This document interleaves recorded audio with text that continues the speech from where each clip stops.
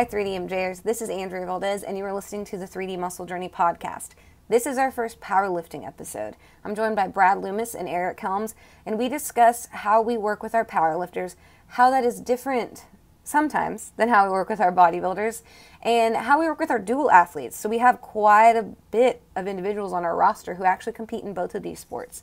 And so, how do we navigate in and out of those seasons? How is cutting weight different for a power lifter versus a bodybuilder, and everything in between? I would really encourage you guys to stick around on if you're any type of muscle and strength athlete. There are quite a few nuggets in this that apply to both sports. So, I hope you guys enjoyed this conversation with Brad Loomis and Eric Helms on powerlifting, bodybuilding, and the dual athlete. Okay, so mm. this is the first time mm-hmm, on the uh, mm. 3DMJ podcast that we're going to talk about. Uh, I don't even say not bodybuilding, but we're going to introduce powerlifting. Uh, specifically, in this episode, we're going to talk about. Um, I don't want to say the objective differences because we know they're different sports, but we deal with a lot of dual athletes. Um, and I know that you guys both have rosters of exclusively powerlifters, exclusively bodybuilders, and some dual athletes, correct? Correct. Yep, okay. definitely. And I don't. Uh, so I'm actually really interested in all of this. I have a lot of physique athletes, and them, well, and some of them have powerlifting ambitions as well. And so we're doing that, but I don't have any just powerlifters. So um, if y'all don't mind me picking your brains for like an hour or two, is that cool?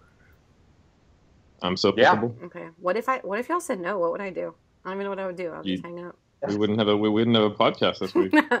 okay. Yeah, it would be a podcast of just seeing us doing this. what's uh what's the ratio of power lifters to bodybuilders on y'all's rosters? Um I may not be a good good representation because I haven't taken on a new bunch of new clients in a while. I haven't taken on new clients in a couple years, so maybe yeah. Brad could answer that to give you a better idea of what our split is for company wide. Yeah, I I think on my roster right now it's probably 60 40, 60% physique, 40% power lifters. And I would say of those 40% that are power lifters, some of them have either or are doing both.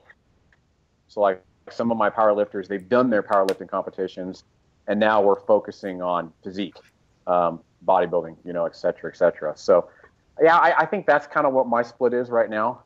That's so. Is that like is that like thirty percent pure pure powerlifters who wouldn't be ever competing in physique stuff? Maybe. Um. Yeah, I think that's probably a pretty fair guess. Yeah. That sounds about right. That's crazy because five years ago it was zero percent, right? Uh, pretty much. Yeah, for me anyway. Yeah, yeah I, I um. A few more. Yeah, I, I had a few for I, well, yeah, I had a few. Um, I think, yeah, Berto and I had had a couple. I think we were the, we were the we had more time in in powerlifting coaching because I started coaching Bryce in like early 2010. Um, but Bryce was a with you as a bodybuilder.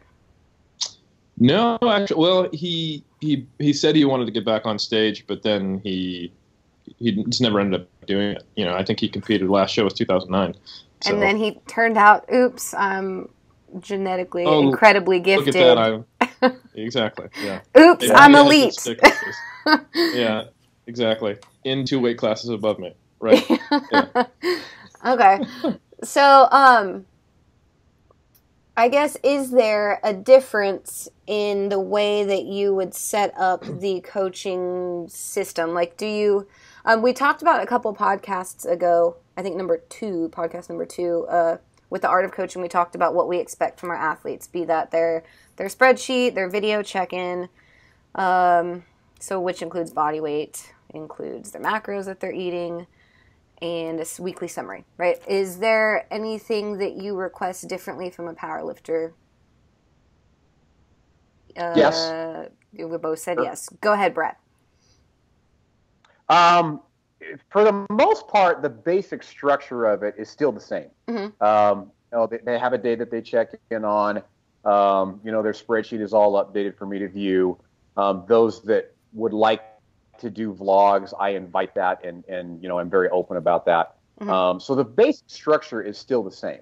Right. Um, however, the, the the big kind of differences between the two is that obviously with with power lifters, we're not focusing um, so much on how the physique is looking. Okay, so I don't necessarily need to see physique photos unless they're a dual athlete. With them, I kind of want to see their lifts, uh, especially if it's kind of around the period of time where maybe we're testing or we're tweaking something.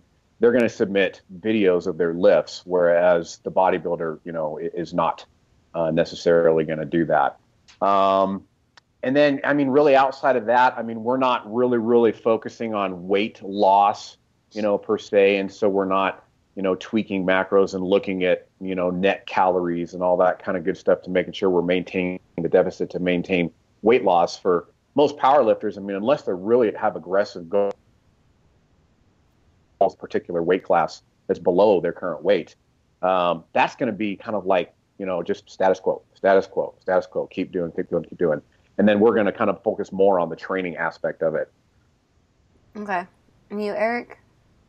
Yeah, pretty pretty similar. Um, if I've got a powerlifter who is cutting a weight class, it looks a lot more similar, but I, I still don't get pictures. Like I, um, I think, like it's it does. I mean, yeah, you, you'd think you want to make sure you're losing fat and not muscle, but you really care about the result of what happens when you're maintaining muscle. So if performance is doing what you want, like I typically look at like Wilks score uh, over time, and then obviously kind of absolute performance as well, and then rate of weight loss. Um, if they're cutting, they're they're tracking nutrition in a similar way to a bodybuilder, probably still not quite as strict. Um, but then if you've got a, a, powerlifter who's just maintaining their weight class, or uh, then it's much more training for, focused. I typically ask them to get me a video of their every week a video of their heaviest set on uh, on the big three, and then they have the option of sending in any accessory movements they want if they want to audit their form, kind of thing. Uh, and then it's all training stuff and uh, you know just talking about how they're feeling about things. Okay. Um, trying to think anything else that I do unique to powerlifters. Well, Not really. I was yeah. gonna ask. Um, obviously, with a bodybuilder and contest prep, week to week is important. It can um, I mean, I know if it ain't broke, we don't fix it, but it's possible that we're changing something every week for like three or four weeks in a row. With a power lifter, you do you feel the need to coach them week to week all the time? Only when they're tapering for a meet? Um, does it depend on the person? Probably Eric and I are going to be, be different. Okay. Eric, because with me, I'm much more numbers driven, and I, I really like to see you know numbers. Whereas Eric, it seems like, at least in my opinion, because Eric's been uh, coaching me on powerlifting, he doesn't seem to need the numbers like I do. You know, it, it, Eric's kind of like able to intuitively be able to tell things just by, you know, my lifts, et cetera, et cetera. Um, so I don't feel as confident in my ability just sending somebody, okay, here's, you know, eight weeks of programming, um, go at it. You know what I mean? So for me, I like weekly check-ins simply because I've got a, you know, my spreadsheet is set up just such that they're reporting to me what their their uh, last set felt like through an RPE, and then depending on the block of training, say that we're doing a volume mesocycle where I want to increase volume, I can kind of look at my spreadsheet and say, okay, you know what, we we went up 30% on squat. Uh, their last set RPE on you know all of their exercises was eight and a half. I feel pretty comfortable driving volume up another you know 30 40%. And so I do like to have weekly check-ins, especially for my more novice slash beginner type power lifters. Okay. I probably would feel more comfortable with a um, very you know seasoned kind of a veteran sending them okay here's your volume cycle go to it ask questions when you might but i think really to be honest with you that's just because i'm i'm probably not quite as experienced as eric in coaching uh, power power lifters and i kind of need that weekly check-in let me adjust your spreadsheet. Let me look at the numbers. Let me get the volume increases that i want etc whereas i think eric's eric's able to do that a little bit more by his gut. Yeah i Eric, um, yeah yeah i mean it, I, I would say that i it's not that i like for, so if we're talking about like looking at volume load and changing it over time i tend to because i program in such a similar way all the time not mm-hmm. that it's like cookie cutter, but like the principles I use for, for programming. Yeah. I I know what the the rough volume is for a block of training, and I I know how to without actually creating like a volume load like a calculator. I get I get a rough idea of where someone's volume is if I want to progress it or I don't.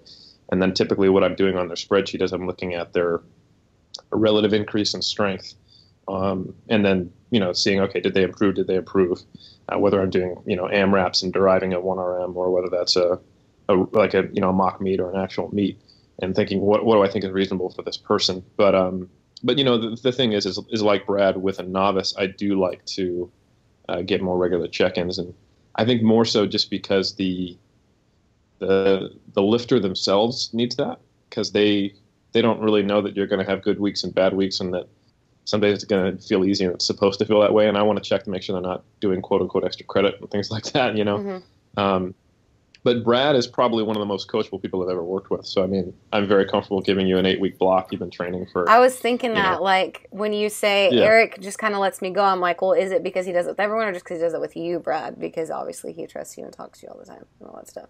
Yeah, I mean that, that's the thing is I we, we end up we have a coach a coaching meeting every week, and you know, Brad's on my the, the private message on Slack, so anytime he needs to get to me, I know he will. Yeah, and I um, guess we should mention that too to anyone who's listening. Um, obviously, well, all three of us have competed in powerlifting and been on the bodybuilding stage, but currently at the moment, uh, Eric is coaching Brad as of what, three months ago, four months ago? When did that start?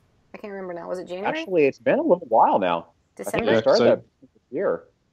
Yeah, I, start, I think I I did your programming up to nationals, right? Or no? No, not nationals. Um, right after nationals. I think it was right after nationals. I want to yeah. say, yeah. Oh my God, yeah. time flies. Yeah. Now I, I remember I was like, back in Corpus. Dang, that was a long time ago. So it was end of last year when we started. So six yeah. months. I, I, believe so. Yeah, I want to say about then. Uh, yeah. Why did that happen? What had you been doing prior to, Brad? Um, well, but prior to that, I had a, a, client of mine, one of our Australian clients, that uh, just came to me out of the blue and said, you know, I, I, would, I would like to, you know, do your programming. You know, would you be interested? And I said, yeah, shoot. You know, no, I'd be, I'd be happy to do that. And I actually learned a lot from that that coach-client relationship. And then, you know, basically nothing bad ever happened. We just kind of parted ways and just kind of grew apart a little bit. And I really found out how coachable I was and how much I did enjoy coaching, really, to be honest with you. And it was kind of a almost a hole in my life. It's like I need I don't need a lot. I don't need someone to sit there and tell me every single day, do this, do this, do this, you know, etc. But man, just a little bit of guidance, just a little bit of, mm-hmm. of, of some some, you know, do this over, you know, the course of 10, 12 weeks that's all I need is just a little bit of guidance, and I'll just run with it. And so, yeah, I think it was about that time that I realized I was missing that that that hole in my life, that that coach or that coach client relationship. Um, I don't remember exactly how it happened, but I remember I was like, it was after nationals, and I was like, you know, maybe maybe the folks at my at my, my gym that I train at here in Reno would be, right. you know, in, interested in, in kind of doing my programming, and plus they're there so they can watch my form and Eric was like, "Are you sure you want to do that?" You know. like I was like, you know, I, I, know like, a guy. and so then, yeah, and, and, that was like, oh well, shoot, yes, you know, because I mean, I, I was kind of reluctant because Eric was right in the thick of collecting all of his his data for his, you know, his his final push, and I was, I didn't want to just come right out and say, please. but as soon as the door opened, I would, I just, I stepped right in, you know, so. Um, do you? What is also the? I guess the ratio, Eric? Because I think how many um, experienced, seasoned power lifters? Um, what am I trying to ask? Is that a, are they? Do they tend to be more coachable or less coachable than a new person getting into powerlifting?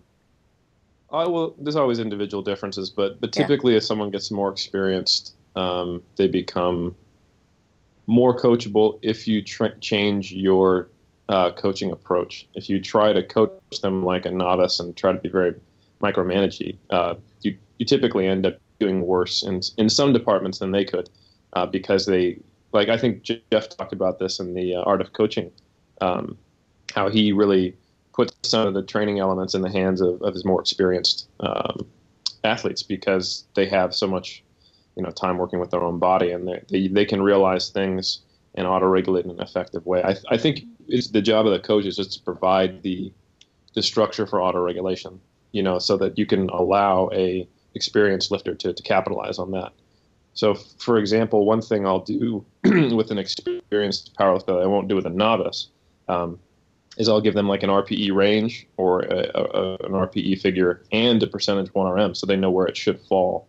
Um, if I do that with some uh, either less secure or more overzealous mindset or novices, they either will just ignore it because they don't know how to use it, um, which is probably the better decision out of these two, or they'll be constantly adjusting their load and then getting it wrong, um, kind of thing. But um, but some people just have very stable performance as well, like and you just don't need to need to use RPE that much. It's pretty individual, but um, I think the take home, but the difference between a novice and an advanced powerlifter is that uh, they typically they always tend to be good students of the sport. It's tough to run into, especially someone who seeks us out for coaching. Um, it's tough to run into somebody who is a high level powerlifter who's seeking out 3DMJ who doesn't understand some of the relationships between you know volume, load, intensity, and what matters. Mm-hmm. Uh, obviously, Brad would be like at the top of that list as an actual coach. So I, I know when I give him, you know, a, a, a block of training and he is going to fit it in over the week, even if he changes the schedule. I know he's not going to do something weird like, all right, I'm just going to go hypertrophy and strength back to back days, and I don't know why my strength was jacked up. You know, like I know he'll have a rest day between there, put mm-hmm. the power day there, whatever, and he'll match it to his schedule, and it will be you know in, in in the most effective way that matches his life. But if I do that with a novice, like I've had, you know, guys do their their power work as like a, a, back off after their strength. And I'm just like, what are you doing? And they're like, I don't know. Like, like what? So I've, I've learned sometimes that um, you kind of have to, or they get really, really hung up on things because they, they have, you know, mis- misconceptions. Like if I give them, you know, singles, doubles, and triples at 70 to 80% of 1RM, they think it's supposed to be like dynamic effort work, like old school Westside or something like that. You have to, they need to be taught the principles which which their program is based on so they do it in an effective way when left to their own devices, or you need to take a more hands-on approach. So, yeah. Okay. Um, Brad, have you, if we're talking novice lifters, is it really difficult to like? Do you ever have to literally teach them the lifts? Or do they always kind of, I already squat, bench, and dead, and now I want to be a competitor? Or has someone been like, I want to be a powerlifter, but I've never stood under a barbell? Like, does that mm-hmm, happen? Mm-hmm. It once, okay. once, and and really to be honest with you, um, it wasn't even like the the the person uh, came to us and and applied for coaching and you know et cetera et cetera et cetera. It was a very special case. In fact, I've kind of been documenting it on my my vlog where I had a, an athlete that's uh, uh, in high school and he wanted to do powerlifting for his senior project. Um, so he's a very young kid, and you know he he's lifted because he's an athlete and he's a football player but he did not uh, um, he did not really know the lifts like a lot of our athletes that come to us. So that's a very very special case. You know what I mean? Because he basically lives in my, my hometown. Uh, you know, we need to spend I think 30 hours or something like that was what we had to do for his senior project. Um, so yeah, you know, we had to kind of be together, you know, for a, a, certain specific time, and I could teach him the lifts and, and teach him the, the little nuances, you know, and things like that. And really, that's the only time that, that I've, I've ever done that. I have never had a, a, a pure, you know, kind of newbie slash novice, you know, beginner in the gym come, come to me and just say, hey, I want to do powerlifting. You know what I mean? I'd say, with that one exception, everybody has been in the gym lifting for a few years, um, possibly even done something kind of plug and play um, powerlifting programming wise, like five three one or you know done some you know starting strength, something like that. Um, but yeah, other than that one case, I've never had to just up and teach somebody the lifts. What about um, nutritionally? I'm assuming, I'm totally assuming, I could be totally wrong, that um, when they have to diet for a weight class, is that more of a challenge than dealing with a physique athlete?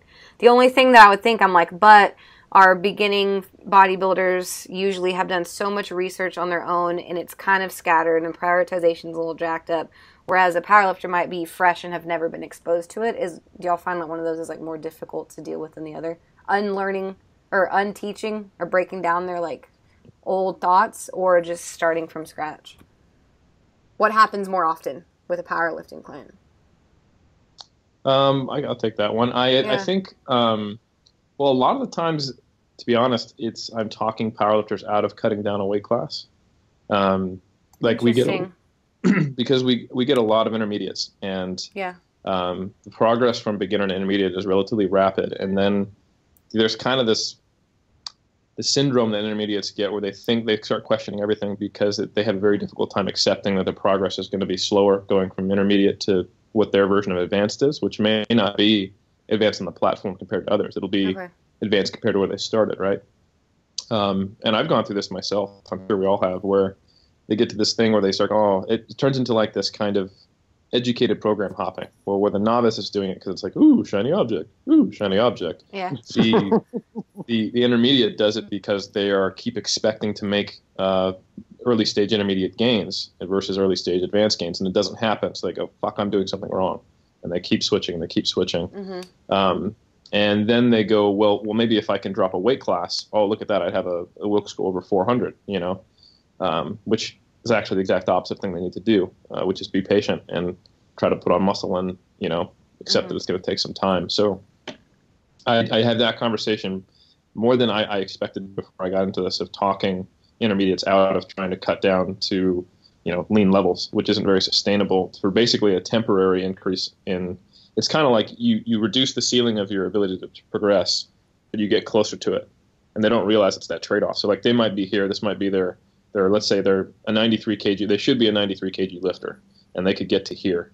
But they go, right, well if I'm an 83 kg lifter, I'll be so much closer to my ceiling. And it's like, yeah, you increased your Wilks, but your absolute strength is lower and your Wilks is not going to get any higher, kind of thing.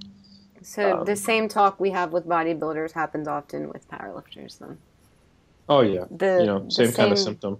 yeah the i want it now okay But yeah, Uh, maybe Brad can answer the procedural stuff if it's, it's actually difficult teaching them because I haven't had a new powerlifter in a while.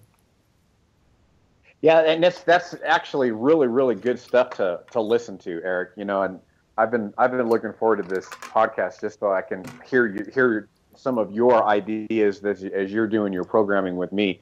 um, so yeah, just to comment on Eric's thing, that's for me that's so eye opening because with me right now my performance is, is such that it's I'm I'm better in the the 74 kg class, and to hear Eric say, well, you know what, if I if I should be an 83er and I'm I'm here with my my my 74 kg, you know what how how far, far can I push that? You know what I mean? Whereas if I kind of stayed in the 83, you know, there's there's all this room right here, and that's a very eye-opening thing for me. I love these kind of things where I have these aha moments. yeah well and then guys- again you've been lifting for a really long like Yeah, he you know what i mean you're a slightly different case because you you you got into powerlifting once you were already a professional natural bodybuilder. So I'm not expecting you to like if we just grow some some some muscle, we're Yeah. gonna get you to you know. So I think in your case, and it's also you're in one of those annoying positions where your kind of natural settling weight is between the two weight classes.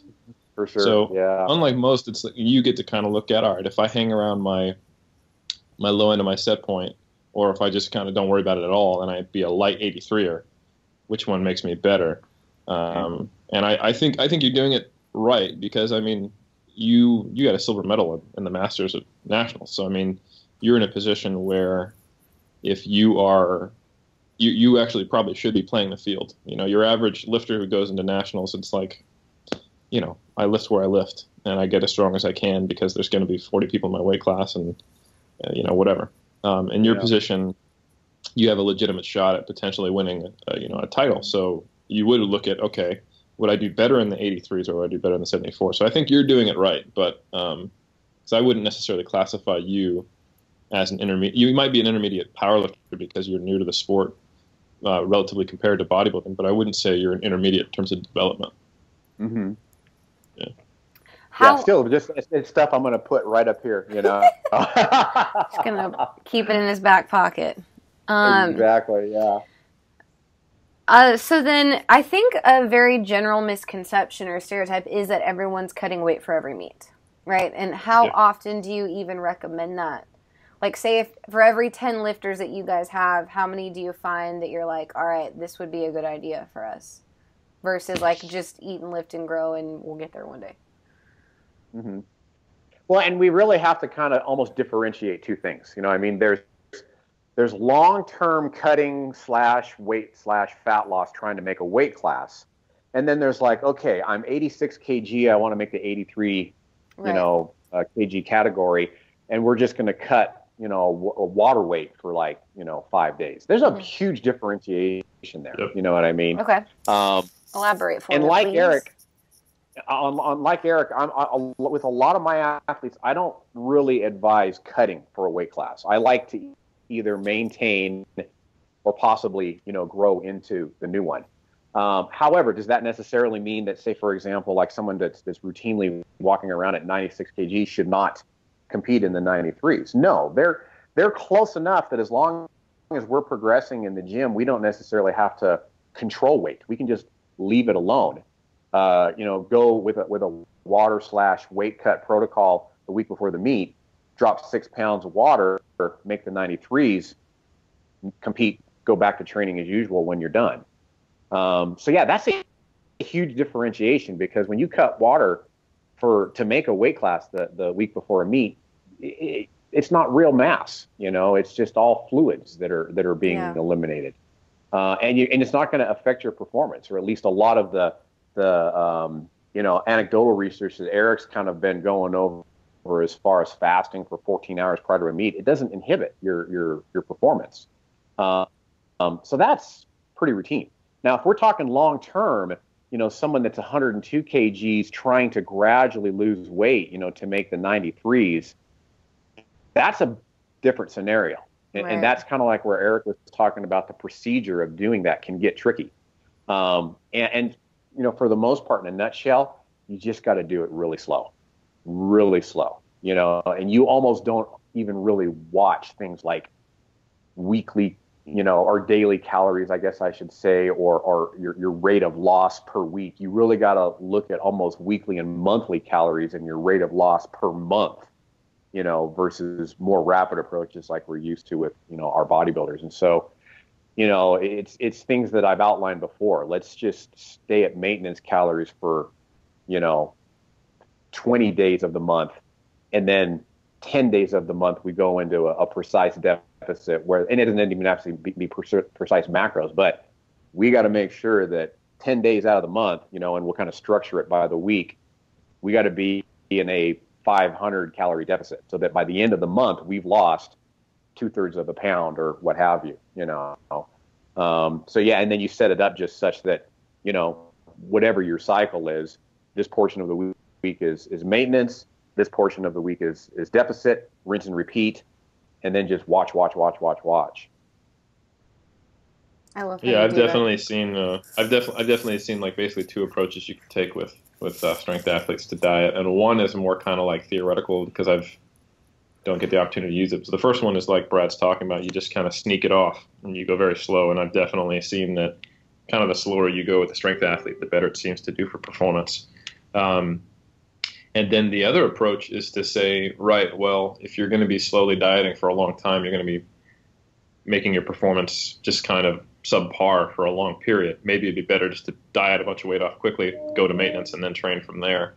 Uh, the problem with that, though, like that's actually something that, that Lyle has said a few times to me. Like, ah, fair enough. You know, he's like, why would you have training at 80% for eight months when you could just take a one month, diet all off, have shitty training, and then just regain all your strength, get back to it. And I kind of think, yeah, that's a fair enough point. But um, a lot of the times, powerlifters come to us with a meet in mind, and it's we don't get them in some time point where they're you know a year and a half away from a comp. Always, we get them unless they're just kind of steady state on our roster. So I think that is definitely like a reasonable strategy. It's never one I've had an opportunity to implement because it's hard to know what that will do to their performance, how to work it into a periodization cycle, etc. But I just want to kind of give a little, little shout out to to people who, because I know some strength athletes do that. They'll just be like, "Yeah, my December sucks. You know, I just diet, but then I'm not competing until July or whatever. I think that's reasonable. Um, and one thing, just to put it out there for everyone's listening, the water cutting stuff, yeah, that's it's almost like we should differentiate that. But often people hear that and they'll take it too far. Like if you're more than three percent of your body weight above the weight class, you probably shouldn't be hoping to make it out when you're a week out. That's probably kind of a safe range for most people. I think Brad would probably agree with that. But if you're more than that, and you need to diet, and then you need to consider should I be dieting unless I'm, you know, relatively advanced or qualifying for something, you know, that kind of thing. So tell yeah. me about these uh, water weight loss protocols. Uh, in, in, a nutshell, basically, you, you eat a lot of carbs, sodium, and, and and and drink a lot of water, and then you taper that down until you're not not eating a lot of carbs, you're eating more fat. Um, not drinking much water and your sodium's low, and then you do a 14 hour fast, which includes the sleeping the night prior, which is basically something I took straight out of intermittent fasting and the anecdotal things they found of what they could get away with and still perform well. Mm-hmm. Um, you know, get on the platform. Most of our clients are doing um, IPF affiliate meets, uh, so they end up having a two hour weigh in, and then you know you spend the next two hours getting off the platform and getting in electrolytes, water, carbs, and then a little bit of protein, having some digestion time, and then hitting their first squat. That, that's it in a nutshell. Um, but there's actually a really cool, and we might have to find this later. There's a really cool schematic that that Bryce from the Strength Athlete he made that kind of showed the relationship of those variables over time, kind of how they start high, like your water, carb, and sodium loading, and then how they come down, and then right after you weigh in, they come back up, which kind of helps people look at that. Is that on the TSA website? It's either on the TSA website or it might be on like Bryce's uh, Instagrams, uh, Instagram or his Facebook. Okay, we keep talking about uh, for people listening too. We keep saying Bryce over and over, which is uh, Bryce Lewis, who is an elite power lifter um, and coaching client of Eric's for how many years now? Six, believe Six it or not. Six years, and, and he yeah. he owns the Strength Athlete, which is a freaking tremendous resource for powerlifters. Um, yeah, he's a he's probably honestly at this point he has probably coached more powerlifters than I have because that's yeah. all he's doing, and he's not doing a PhD to suck all his time up. So he's he's a a very experienced coach in his own right, as is Chris Aiden, Eric Bodhorn. Um, let's see who else they got there. I can't remember if Joe Stanek is still interning with them, um, but then Hani Jazzarelli. So lots of shout outs to give to the, the peeps. Yeah. yeah, but they have a lot of um, awesome resources on their website. He does a real good job. They do. Yep, very cool. cool. Um, is yours is uh, do you follow that same protocol ish, Brad?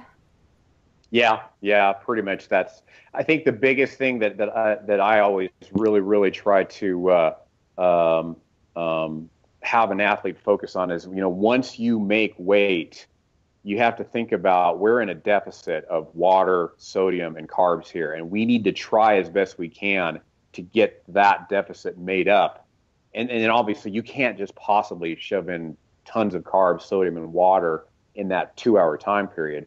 But we needed to make our best effort to get that back in, um, you know, before you make the platform. So a lot of times I'll just kind of outline little strategies as to how to get, you know, all of that back, back kind of the baseline uh, again. But yeah, otherwise, exactly what Eric said. I mean, I've got numbers that I kind of, again, because I'm the numbers geek, I've got a little spreadsheet where they, it's all individualized. They push in their, their, they punch in their actual wa- water intake that they normally take in, you know, what their sodium is, and then it kind of lays it out for them in a seven day format. Um, but it, it, it's exactly what Eric, Eric said, you know, if you were to just summarize it all in a nutshell. What's the furthest out that you start that? Seven it's days? usually always seven days. It's always a yeah, week. Yeah. Yeah. yeah. It lines up nicely with your taper. That, that's that's the thing because you you you're going to be dropping carbs and messing with your water, messing with your soda. We're not going to have. It's possible you might not have very good training, but if you only have to do like, you know, three singles at eighty percent and then three singles at at sixty percent and then take a day off and and compete, and it doesn't really matter, kind of thing. Yeah. Um, and yeah, it's, it's also very individual. That's one thing I found is that some people are not at all affected by it. Some people are. Some people do that and they only lose two percent of their body weight in a week. Other people lose like four or five percent of their body weight, which is like whoa, you know. Um, and I definitely prefer it to something like sauning because when you when you sauna and you sweat and you lose more electrolytes because it's coming out of sweat. Mm-hmm. Um, You know, so it, I think it's it's it's a better approach. It typically seems to affect platform less than other approaches that people take. Um, and yeah, it's it, it really it goes hand in hand with some of the smart attempt selection stuff. Like you don't want to be opening with like 97% of your max on squats if you cut cut weight because you don't know how you're going to be feeling. So it's smart to be if, if there's one if your most your most conservative opener should be your first squat. You know, if you cut weight. Yeah, and you said um, Brad, you had mentioned some ways to fill. Is that like what Pedialyte and donuts? Like what? You, like what are the things? you know what I mean? Like what are your yeah. what are the things that you say is like okay, we need to get you full and and feeling good again without being overly yeah. bloated or digestive issues or things like exactly. Like yeah, and really, to be honest with you, especially with with my my more um, you know intermediate power lifters, I like to run a little experimental week. Okay. Um, and, and so it's a great idea. Like if I'm planning a taper at the end of a mesocycle of training and say that we're going to test, um, you know, I'll say, let's go ahead and try this water cut protocol and just first of all see how it works. Um, you know, how much weight do you lose? How do you feel? How's your performance when you do test? You know what I mean? And so I, I, I really like to, to have the opportunity to do that, you know. Um, and, and then likewise, we can kind of t- bounce those things off of each other. Okay, so what, here's what we're going to want to do. As soon as you get off the the scale, you know, I want to I want a container of Pedialyte and I want you to down it. Okay. Uh, and then let's kind of play with our, our, our food selection here. You know I mean? Let's try go ahead and have something easily digestible that's got a lot of carbs in it. Um, you know, let's go ahead and if you, you've got the chance to do it before your training, you know, let's get a shower, because people don't realize how much of your body absorbs water through its pores. You know, just when you go huh. in and get a get a shower. Um, you know, let's let's get you as much as we can to normal, and then of course, if if lifting the day, you know, doesn't seem to work, we can kind of evaluate that. We can say, well, what didn't we do? What what can we change to make it better? Should we even do this at all? You know. Yeah. Um, but yeah, I really like to have an experimental portion, and then you know we'll just kind of bounce ideas off of each other. If a person say that a lot of their their carbohydrate intake comes from you know brown rice or other really really soluble uh, sources of fiber. Well, you know what? At least for this period of time, we're not going to want to have that. You know, we're going to want to go with more rapidly digestive stuff. Maybe not vegetables per se, but just something you know that doesn't have a lot of fiber in it. Something that that you know uh, it gets rapidly digested that we can get in you as quickly as possible. And then also we can kind of find out how do they perform, you know, on the platform that day. You know, if every time you finish a deadlift you get lightheaded, we probably get or get more sodium in you because you're getting a blop, a drop in blood pressure, and maybe we need to get that blood pressure back up again, get more of that sodium back in you. You know, so yeah, I really like a trial run. I really, really do. And um, not that you know I've ever had anything bad happen, but at the same time, it never hurts. Yeah. Okay. Yeah, you don't want to be the guy who or the gal who's you know 200 grams over just because you didn't trial it out before, you know, and then having to be like, oh my god, what do I do this morning? Mm-hmm. I'm gonna go find a gym with a sauna, or you know, find a very uh, sweet pack of gum and spit in a cup, you know, that kind of thing. yeah. um, how many? Which? Oh, yeah. go ahead. Go ahead. Which which has to happen sometimes, but yeah. I like to avoid it. Yeah. Um, how many? You say a trial run how far out would you like if you have someone who's about to compete for the first time they approach you my meet's in three months how far out would you want that trial run in order for them to recover to do the actual uh, meet week protocol at least a month would you i mean are you just like anytime there's a, a it's very variable. I know okay. myself. I did a, I did a trial run the week before my, my oh. first actual meet that I made weight. I, okay. I did it exactly one week before. Uh, I wasn't as meticulous. I just kind of played with it a little bit. Uh, and then I was more meticulous the week after when I actually, you know, made weight uh, for my for my meet. Um, and, and both times it worked very very well. Um, what I'm really really interested in seeing is as I get more experience doing this is, do we get that same effect over time? You know what I mean? Does your body kind of start to get used to that, and so the effect of the water cut actually gets less and less and less and less uh, over mm. time? You know, I'm sure probably Eric has, has got you know some pretty good ideas of how that might look like on paper, but you know, I plan on doing this for a long time, and, and we're going to find out for sure if, if the, the, the response is the same each and every time I do it, time after time after time after dozens and dozens of times. Yeah. Um, for most of my athletes, like for, for example, I just I just coached an athlete who we had an eight week block of training leading up to her meet, and we really didn't have a chance to, to, to do a trial run. Mm-hmm. Um, and so luckily the person was pretty savvy in the kitchen. They got a great response. Uh, they dropped like a four and a half percent of their their body weight and still performed good on the day. Um, but I, I really, I mean, I don't. Sometimes you just don't have time, and I would not feel really comfortable myself doing a trial run right in the middle of somebody's mesocycle where it's a, a more volume-based mesocycle or an, intensity-based mesocycle. I don't know if I want to hamper their their training, you know, or at least take a chance of hampering that training.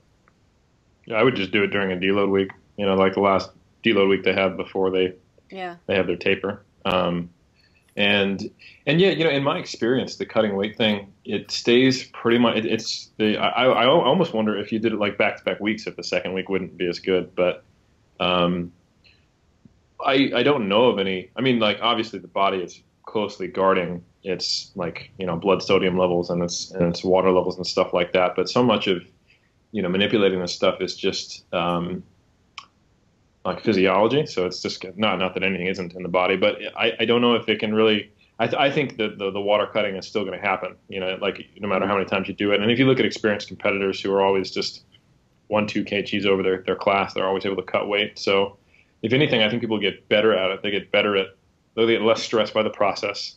Mm. They um, yeah. They, I think the hardest thing, like with the approach that we're talking about, is really not that extreme. Like you get down to half your normal sodium intake, you get down to half normal water intake, and then you have basically a, a, a couple of days of keto, essentially. Um, it's not like what you might read about with some really extreme approaches. It just happens to be very effective. So you can see things like a, like Brad said, almost five percent of their body weight lost in a week. Um, I would say that's probably on the higher end, though. Most people are losing, you know, two, three, three percent is probably the average.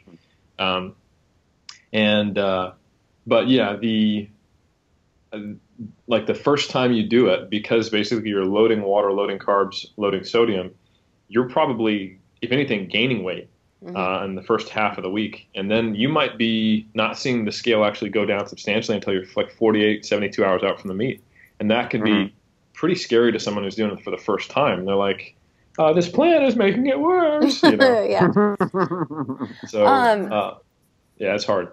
Yeah. What's the um I want to say like recommended like in your in your opinions how often do you ideally have a a career power lifter compete per year?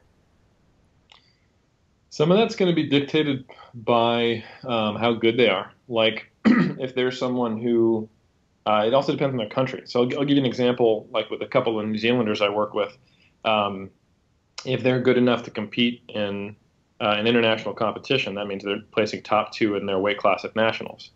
So they have to do nationals to get to international, but to get to nationals, they have to do their regionals. So they're pretty much always going to be doing three, and then they could potentially do like a club meet, just kind of like a local uh, one that doesn't really matter. So maybe four, uh, but I find two to four meets per year is probably the sweet spot for most people.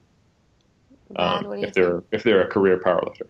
Okay, Brad you know, I wish, to be honest with you, I had more career powerlifters. You know, I think really the only, the only real career powerlifter that I've got on my roster is like me. You know, um, well, I, I, would agree. You know, two okay. to four, two to four would would would definitely. It's it's as much as I would feel comfortable doing. Um, you know, a, a, frequency of meets. You know, and I guess um, to define career path, you guys are talking about people who do this at high national and international levels. Um, what about someone who just loves competing and they like what I guess at what point does it get okay now because you're competing so often we're not making the progress you'd like to see? Exactly. And, and a lot of times you got to have that talk, you know, with the yeah. athlete.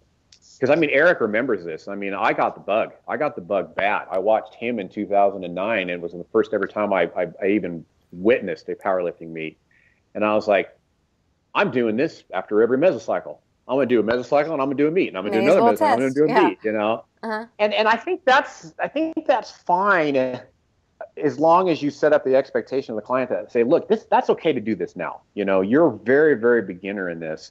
You can honestly expect probably a new PR every time you do a meet Mhm. 8, 10, 12, 14 weeks apart. But there's going to come a time when you're going to be disappointed. You know, you're going to not like what your, your performance was, and your body's going to adapt. You're just not going to get those same kind of, you know, that, that that same progression. You know, from meet to meet to meet to meet. And so th- that's always something you want to prepare that really enthusiastic, you know, novice body or novice power lifter that's like, I, I'm I'm just going to do every meet I, I possibly can, you know. Um, Could so that yeah, be- that you always got to have that talk.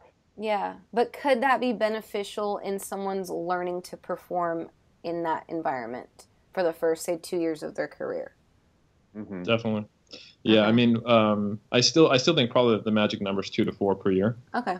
Um, that fits nicely in with, you know, a, a good block of you know when I say block, I guess a uh, a couple mesocycles of, of training that, that lead up to a meet. Mhm. Uh, if you're doing, you know, like five a year, then then you're you're you know you're thinking okay that's barely that's like five eight week blocks with some deloads in there, and, and you're like just really hoping that it makes sense, or Yeah. maybe some of those meets you just don't peak for at all. Mhm. Um, you just kind of go right. We're building up, but um, no matter I've I've tried to have people who just rock into rock up to a meet and just don't even worry about it. This is just a meet you need to do to qualify. We don't care if you get PRs or not. Um, therefore, it should not be stressful. But it always ends up being stressful, uh, whether it's just the adrenaline, Really? being, adrenaline of being on the platform, being in front of people, different environment, uh, just being in that arousal state. It doesn't matter if they pull, you know, just their openers, you know, or pull squat and bench just their openers. Uh, that I think a lot of it is the psychological and, and the time span they have to be turned on, you know, Mhm. to, to do that because meets take for freaking forever. So it invariably, most people have a shitty week of training the week after a meet, if not Yeah. a shitty two weeks of training. Yeah. Uh, and I like to plan in, uh, you know, weeks of training that will be manageable even in a, a not very strong state. Um, and that's hard to do when you've got, you know, five, six meets to do in a year. Um, so yeah, I, I, I tend to, I, I agree that, yeah, plenty of platform time is good to get someone used to performing on the platform. But uh, you, and, and yes, you can progress at a quick rate as a novice. But yeah, any, any more than two to four meets a year, I think it's probably uh, counterproductive. Yeah. Um, whenever you have an athlete that either was a bodybuilder, now wants to powerlift, was a powerlifter, now wants to bodybuild, um, do you find that you program incredibly differently year round, or is it only different leading up to the stage or leading up to a meet? I think I asked that right. Yeah, it, I think I'll, I'll tackle this one Okay. first, but I, I think it definitely depends on what are they most in their mind. Do they see themselves as a powerlifter or a bodybuilder, They- or are they a true dual athlete? Um, Which is rare, huh? yeah, I'm I'm I'm I'm I'm like one of the few true dual athletes I've met. Most people tend to lean one way or the other after they experience. I've always been in love with both since 2006, you know, Mhm. and 2007 respectively. Um, however, even me, I get put into the camp of training for one or the other just because of logistics. Like if I'm doing a you know three year PhD and a one year master's, I'm not going to do bodybuilding.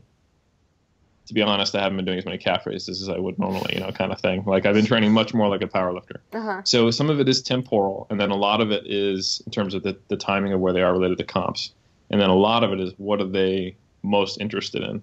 Um, because if they're really, really interested in being a powerlifter, but they have a background as a bodybuilder, really you just do enough to kind of keep their physique, and then you make space in their training to do to get them familiar and really good at the lifts, and to get them used to recruiting, you know, everything on a 1RM and grinding through that stuff, which they're probably not used to. They've Right. probably done you know, widowmakers with squats and things like that, but they've never done it, you know, a true 1RM at their max capacity. And that takes time to develop that skill. So, so yeah. Um, and it does flux in and out of being more bodybuilding focused and more powerlifting focused, depending on where they're at in their, their competitive cycle.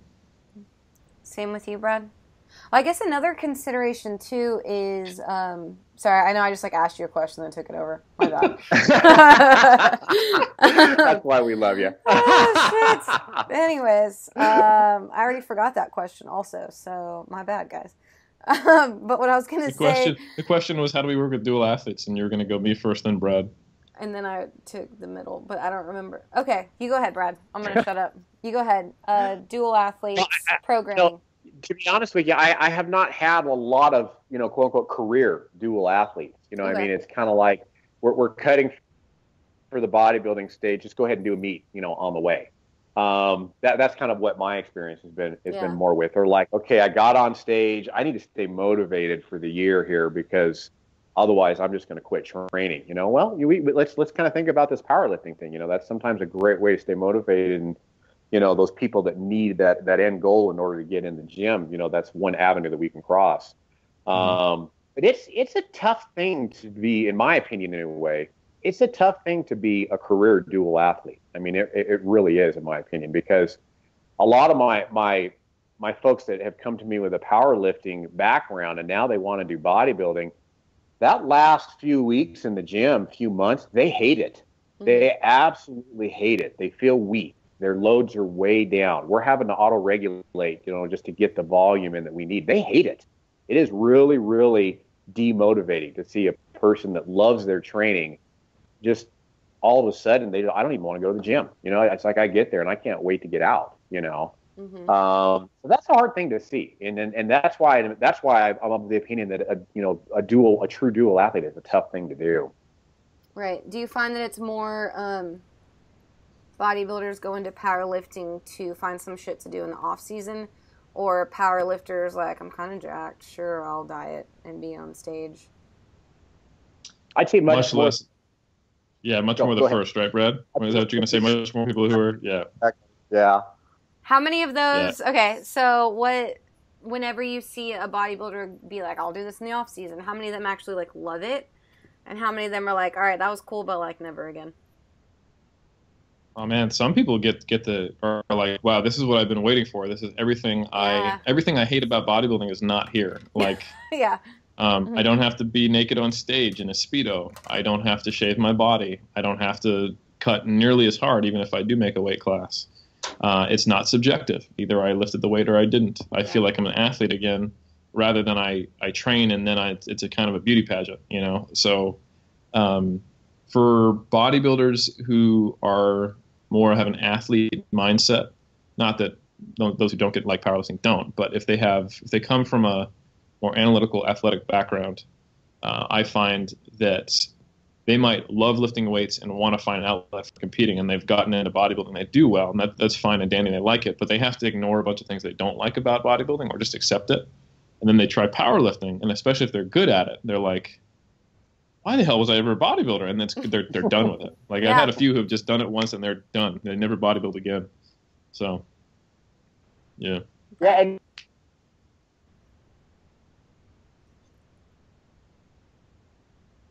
Did we lose him? I think we did. Oh no. oh, Oh, there he is. Oh, he's back. There he is. Okay, can you start that over? We kind of lost you for a sec. Oh yeah, yeah, sure, absolutely. So, it, like you and I talked about, Andrea, in our talk, um, uh, I think that was in, in the last podcast, number three. When you take a really good bodybuilder, you know, like a elite bodybuilder with per- perfect structure, like a Jeff Alberts, I don't see Jeff Alberts ever getting on the on the powerlifting platform. You know what I mean? When you get a really good bodybuilder, that's just like they, they've almost like reached nirvana in a way. Um, now, obviously, I don't know a lot of elite, you know, bodybuilders, but you know, it, it's it's it's kind of one of those things where I don't know if I, you could get you know the exact opposite either. Like for example, Bryce. Bryce has done bodybuilding, you know, and he was a pretty darn good bodybuilder, you know. But will he ever? He's really good at powerlifting, you know. And will he ever go back to the bodybuilding stage? You know, I think that's always a an interesting little, you know, you know, quandary for that kind of an athlete. Yeah. And I think Yeah, and another. e- even the really strong, really strong uh, bodybuilders who are extremely good, it's I think they're they're so much rewarded by bodybuilding. Like people don't know Brian Whitacre is actually really freaking strong, Well, but bodybuilder. Yeah. I just I just don't see him getting into powerlifting because he is the you know objectively the the best natural bodybuilder on the planet at the moment. You know, so it's like why would he kind of thing. Yeah. Um, unless he just did it and absolutely fell in love with it. But I mean, there, there's a lot of guys like that. I think. Uh, you know, Dave Goodin had uh, some some Texas records in, in powerlifting, and he would do it more for fun on the side. But um, yeah, I think for the most part, I think 3DMJ has a lot of experience with powerlifters, but many of them get into it because it is a a way, an outlet at, at, for their off seasons, um, um, or they started as a bodybuilder and they, like I mentioned, for whatever reasons, they decided powerlifting was much more for them, and then they became that purely. Yeah, and I think I'm one of the those weird cases where, um, like, it didn't feel like a performance sport for me. I don't. Mm-hmm. I, it felt like another day in the gym for me. Um, yeah, it's because you come from a real sport background. well, a lot of um, I get a lot of shit for that, to be honest, um, mm. by a lot mm. of powerlifters. You know, that don't. And, and while I, uh, go ahead. No, you go ahead. No, it's well, just every time. All right, you win, Brad. Go. Three, you get three extroverts on the same program. There's no shortage of talking. You know. um, well, I was I was just going to say that really surprised me with you, Andrea, because I I really thought you were going to dig it, and I mean, let's face it, you're freaking good. You're strong. You know. Um, but at the same time, I mean, I just got to admire you. You're just like, mm, man, it's not for me. You know. And I think that just speaks volumes for you know you just your courage, your honesty. Um, you know, you're good at it. You were good at it, but it just was not for you, and you weren't afraid and, and ashamed to to say that. You know it's, what I mean? Yeah, and and the thing is, I it's not that I think I would never do it again. I feel like it's almost.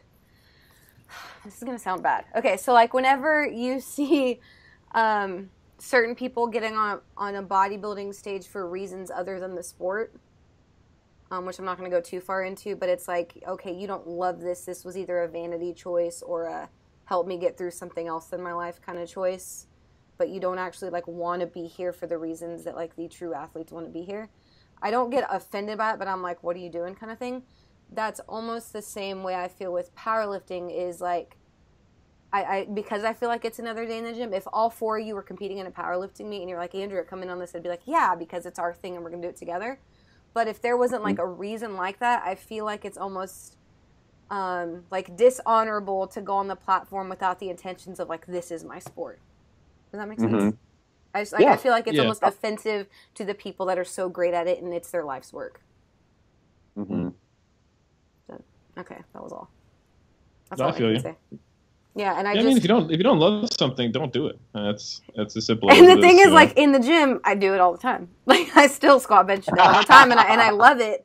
It's just that I feel like uh, competition is a very sacred thing for the athletes that really do love it, and I don't want to take away from them.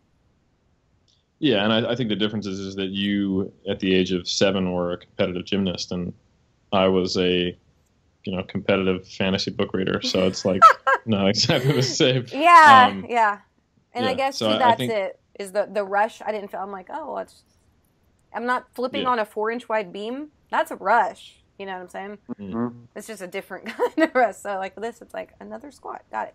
Um, anyways, mm. not to make this about me. Um, why? How dare you talk on the podcast? I know. How dare I? How dare I? but it is. Um, I guess. Uh, I just didn't want to say that. That was all. I didn't want to offend anybody. Um, Brad. I don't think anyone. No, no one should be offended by someone not liking the sport they like. You know, I'm going to offend everybody. I don't like any sports except for bodybuilding, powerlifting, Olympic lifting. Well, okay. Why did you? I think it is kind of uh, related to this, though. Is you decided to try Olympic lifting? Why was that? honestly, I I love anything related to lifting weights. You know, okay. Um, I almost did a uh, did a strongman comp. Um, That's cool. But uh, I realized that I was not a strong man. No, I'm just kidding. But uh, No, I almost did a little novice strongman comp around here, um, but it, just there because there is some pretty serious like anaerobic cardio components, and um, injury rates are really high, and it's you have to have specific implements. It was just like, you know, Olympic lifting. If you have Olympic bars and bumper plates, you're good. Um, so anyway, but I've always loved like Olympic lifting and thought. Um, I remember Berto and I did a powerlifting meet, and there was a couple Olympic lifters who were competing in it, just kind of like their coach wanted them to do that in like a strength block, just to, you know, do it. And um, high bar ATG squatters, terrible bench, and then, you know, uh, didn't know what their maxes were on, on conventional deadlift because they're used to doing like clean pulls, but still strong guys. And it didn't matter what they lifted because as soon as they said to us that they're Olympic lifters, we were like, oh, like you're you're like the god of the weight room. Like you yeah. somehow get that, that, weight over your head, you know, in one movement, and and you can probably, you know, a good Olympic lifter can can clean and jerk the the, the squat of an intermediate power lifter, you know. So it's it's uh, very very impressive. I think there's a higher level of technical skill and athleticism involved in Olympic lifting than there's powerlifting. Um, and I think most of the time what I see is like powerlifters respect Olympic lifters and Olympic lifters will, will uh, tolerate powerlifters, you know, kind of thing. There's yeah. there's some Olympic lifters who I train with who they, they joke that powerlifters are all just like broken wannabe Olympic lifters. But anyway, it's it's fun camaraderie. But anyway, so I, I wanted to get into it, and um, I would still be doing it if it wasn't for the fact that um, it was just I, I don't have the mobility, it, and it was really beating up my joints to do it.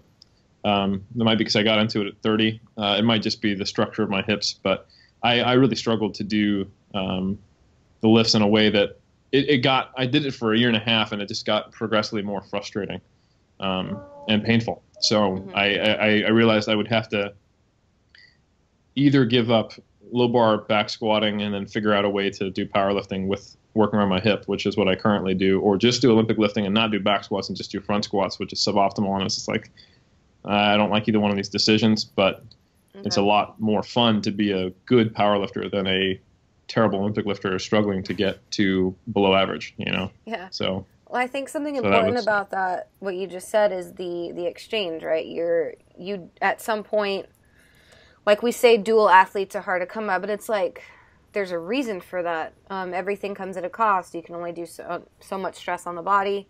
Where do you want to put it? Um, and then also too, when I find someone who comes to us who's um, never competed in either, and I find that more than ever, I hear people being like, "I love lifting. I don't know if I want to do bodybuilding or powerlifting yet, or first or whatever." And um, I guess a decision making factor that I always like to bring up is that if you do a contest prep, that can hinder quite a bit of time in your strength slash physique gains Whereas if you just go enter a powerlifting meet, like you're still always making progress towards your bodybuilding goals. Mm-hmm. You know? Yeah. And so I just, um, the cost is just a much lower cost, I guess, to, to do powerlifting than it is bodybuilding. And one will always contribute to the other and not the other way. Yeah, I, I would agree. And I, I think people look at it and go, well, why isn't bodybuilding easy? That's, there's, you know, as long as I can do progressive overload on my muscle groups, I'll get bigger. And then they forget that quote unquote bodybuilding is very different than competitive bodybuilding. Yeah. Um, going through a diet is yeah. is harder than anything. what's know? What's uh, funny now that I train at uh, CrossFit gyms a lot, a lot of them will tell me um, because I've been in this natural bodybuilding community for years. They'll be like, "Well, I started doing bodybuilding stuff, and then now I do CrossFit." And I'm like, "Oh, when did you compete?" And they're like, "No, no, no, I didn't." I'm like, "Wait, so you never did bodybuilding?" Like mm-hmm. they they think that training in a bro gym means I was doing bodybuilder stuff. it's like, wait, wait, wait. That's that's really different. You know, but my immediate reaction is, "Oh, when did you compete? When was your last season?" They're like, "Well, I never competed." I'm like, "Then you didn't do bodybuilding stuff." Because mm-hmm. the hard part isn't the training. I mean, if you love the gym. You know. Yeah.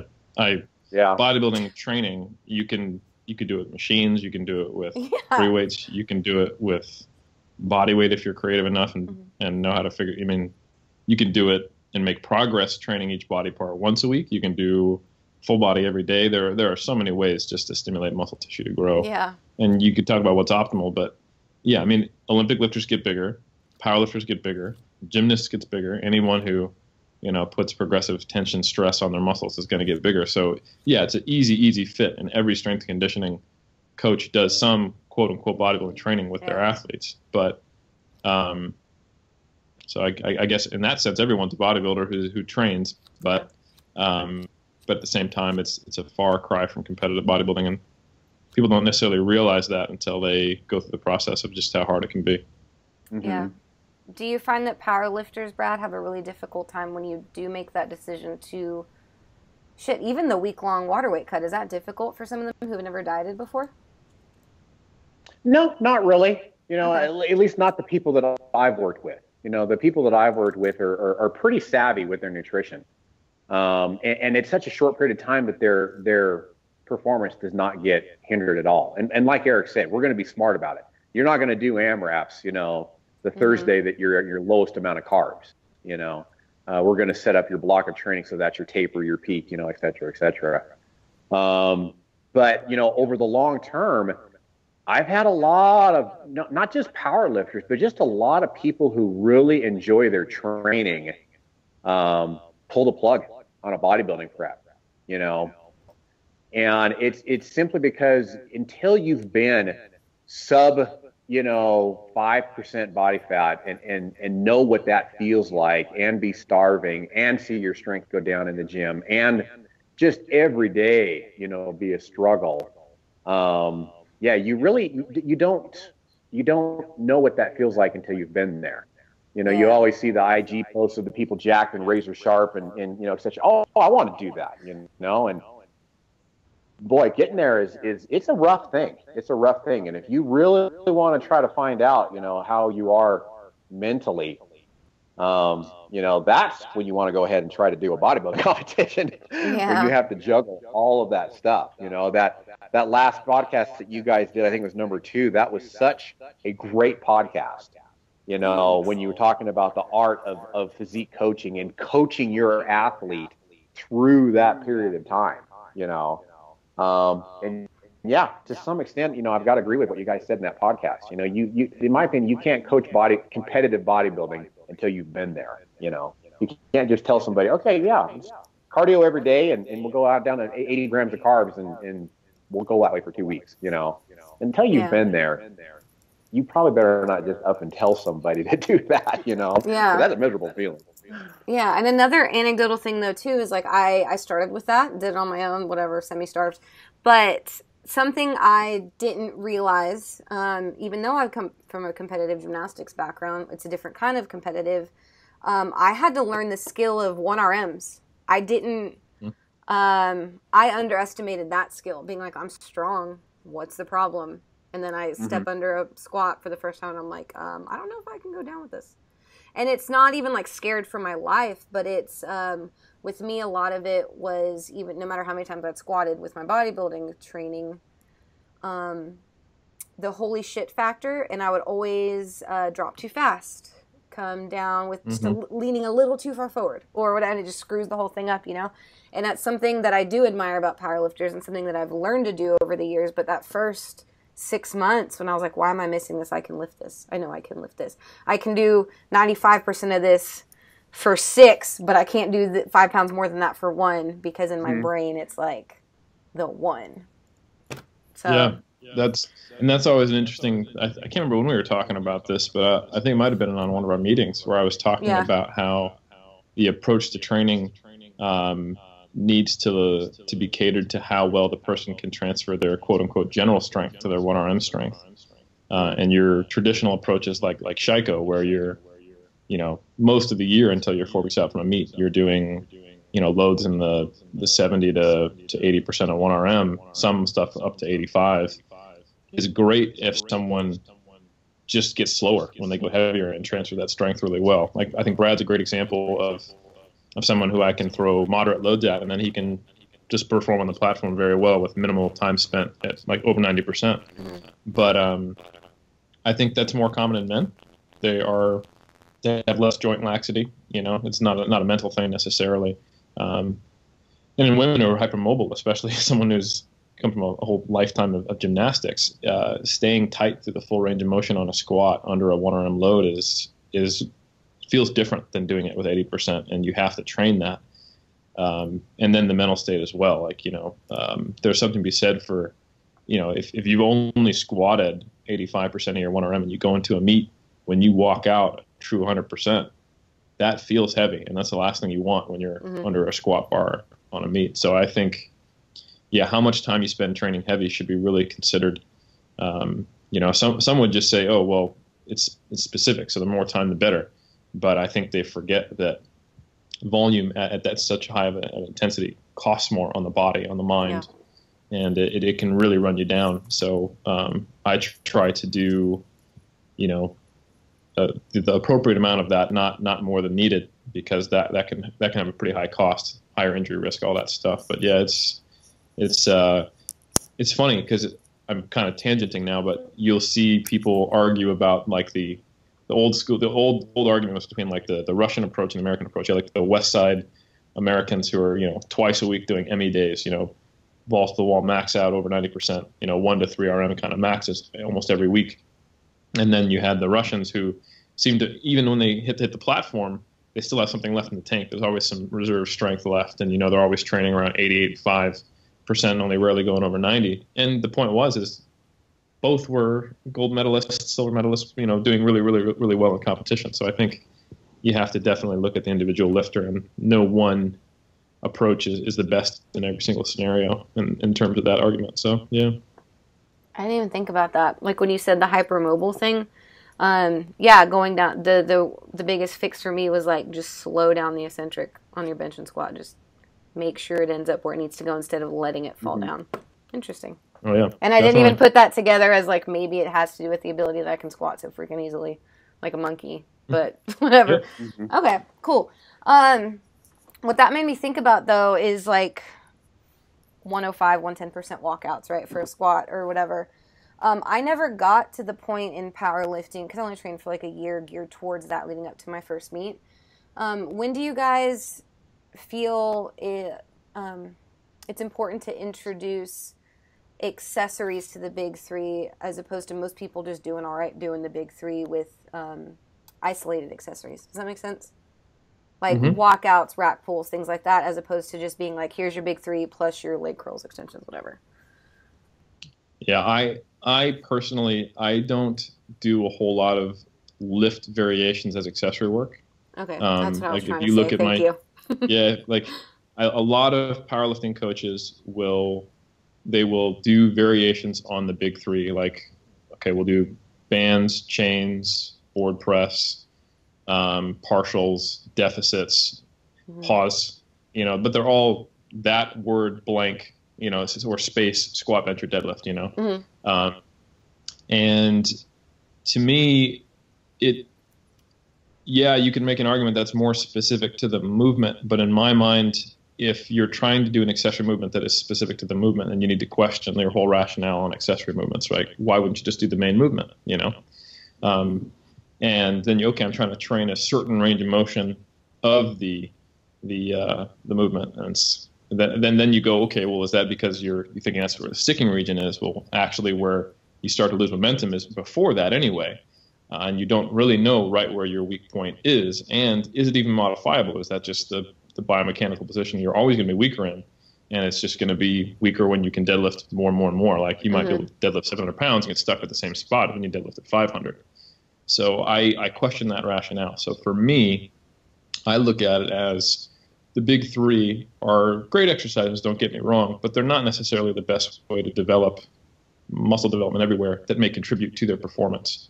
Mm-hmm. So when I program accessory work, I'm thinking about what does this specific person need to do to get good muscular development to support the big three. And if they are, you know, have certain limb lengths, that means you know they have a super slight range of motion on a deadlift.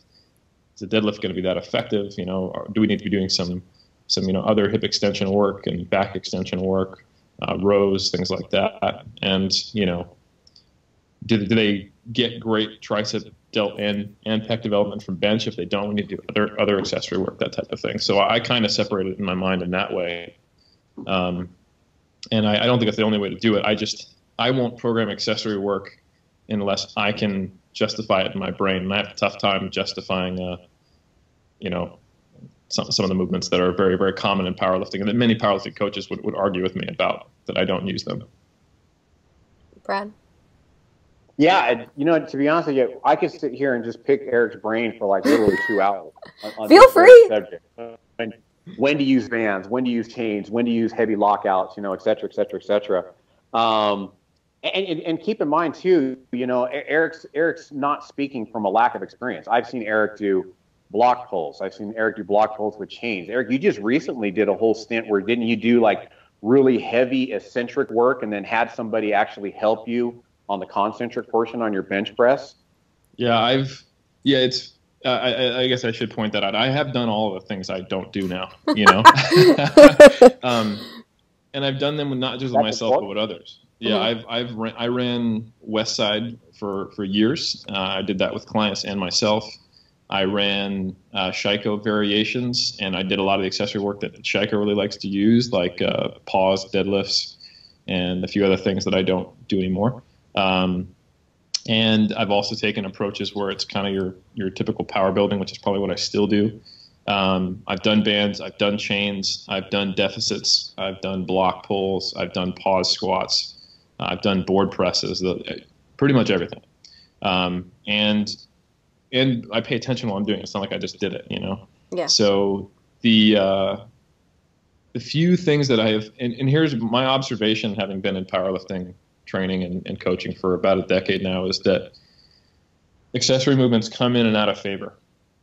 And um, it's almost kind of like the emperor's new clothes thing. You know, like if a, if a popular coach is using it, being successful with his athletes, everyone says that's a good exercise. They all do it. And then if it goes out of favor for some reason, it goes away and something else happens.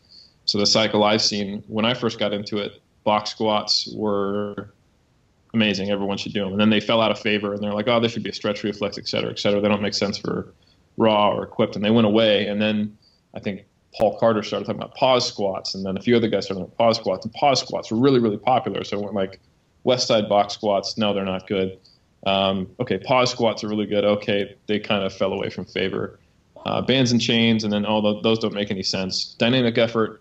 Oh no, that doesn't make sense because that's not velocity specific. And um, in my mind, if these accessory movements are supposed to have such a large impact, they couldn't just come in and out of favor and and the record's still going in the same progress, everyone progressing the same way. Um, so in my mind, the only accessory movements that I've really, really kept over the years are the ones where I have been able to directly see benefit in myself and my clients.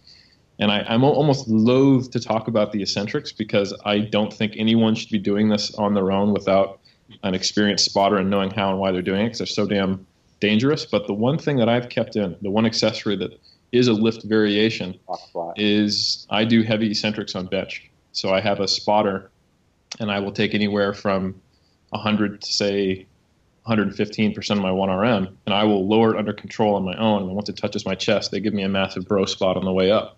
And I'll do singles, doubles, and, and triples, which I find is really helpful on bench because you have to eliminate the the the, the stretch reflex. You know, you get a you get a press command, and sometimes you don't know how long it's going to be hovering on your chest, right? So if you can effectively lower, like let's say I'm a, I, I can bench 150 kg with a pause uh, but if I can lower 165 to my chest and and then get it get it back up for a couple reps and have the eccentric under control, if I get a two second press command, 150 is cake. You know, it's not a big deal.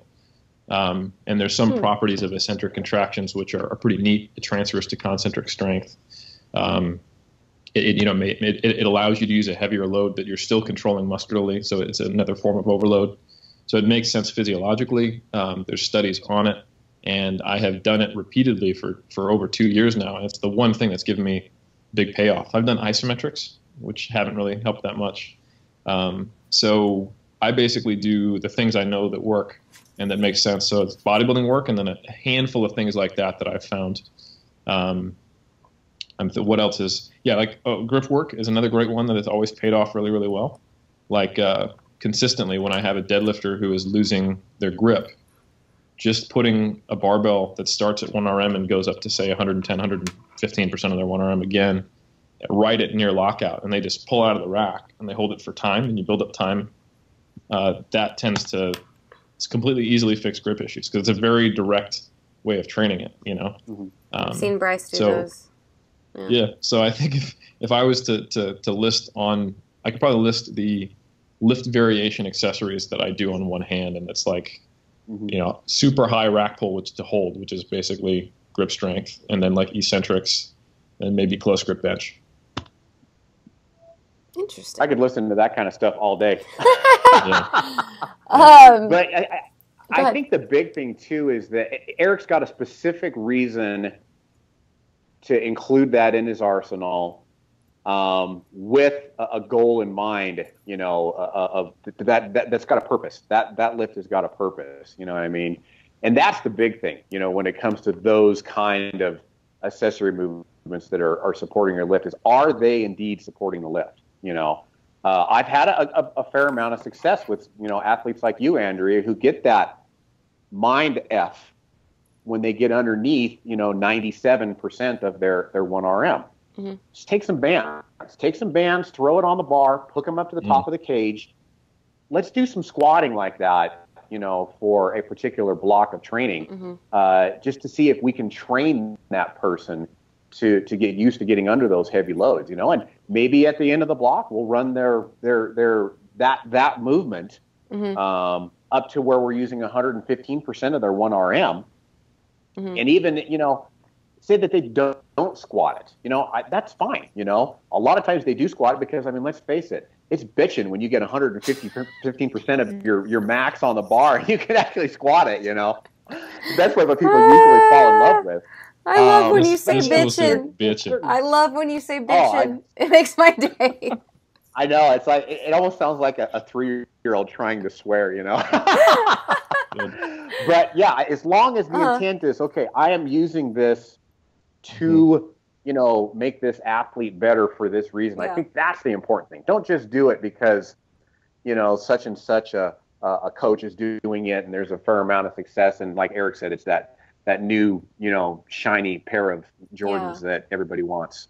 Um, yeah, and so Brad has the same mindset I do. It's it, it makes sense. There's a logical purpose, and it's it's not just because other people are doing it. And I, I think some people will say, well, what about variation? And I go, I, I agree that we, we have data to support there should be some variation in training, but I think I don't I, I don't ever think that there needs to be like you don't need to have variation in the movement you're trying to get better at. You know, like it's not like swimmers don't go right. I got to get on a bike to become a better swimmer. You know. Yeah. Um, yeah, you might do periods of less or more main lift, but you're always keeping them in there, and you have to practice the main movement to get good at it.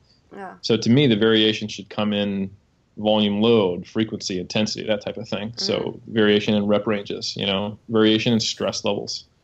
Um, yeah.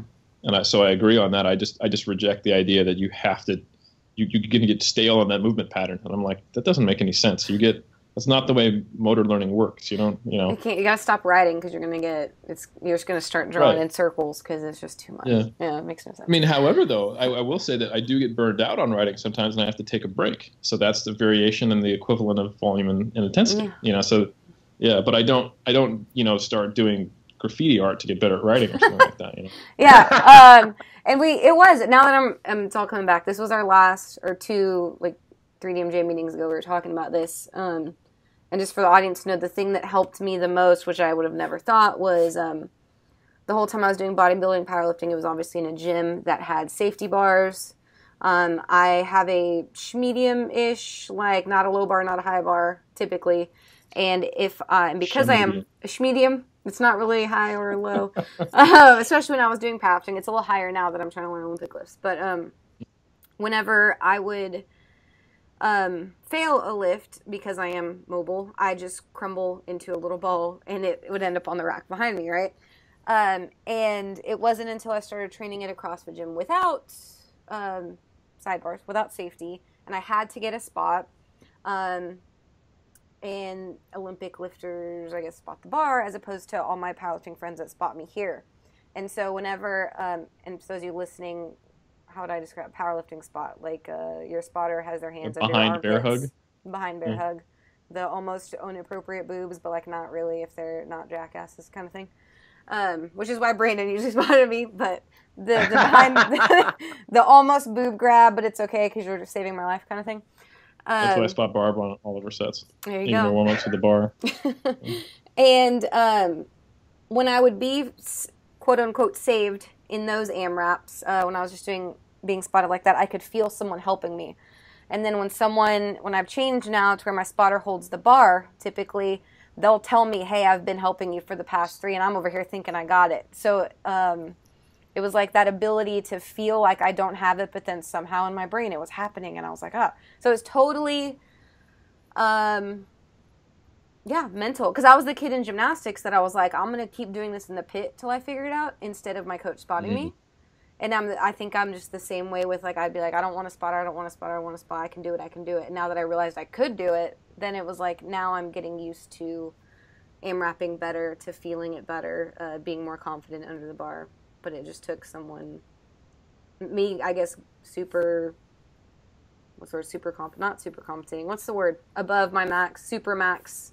Super maximal. Yeah. Yeah, that's the no, word. I, I, I, yeah, there, there, there definitely sometimes mental stuff can get in the way. I, I know for me, um, I kind of just retooled my sumo deadlift to being more patient on the floor and not trying to jerk and go because it keeps my position better much more often. And it's hard mentally to not shut it down Mhm. because it feels like it's not going to go anywhere. And then it's not until it breaks the floor, then it starts to get easier as you go up. Mhm. Um, but yeah, like if for someone who's doing that for the first time, it's so often you'll see them, and it feels like you're spending so much more time than you actually are. Like you'll see someone pull on the bar and sumo for a second, and then just stop and go, no, it's not going to go. And um, then if you can get them to go back to it, coach them and go right, keep the hips in position. Don't try to forklift it because you're nervous, and just keep pulling and be patient, and then just keep pulling harder. Then it comes off the floor and it goes. Mhm. And it's you don't you don't know that until you know that you know Yeah. Yeah. and, and yeah.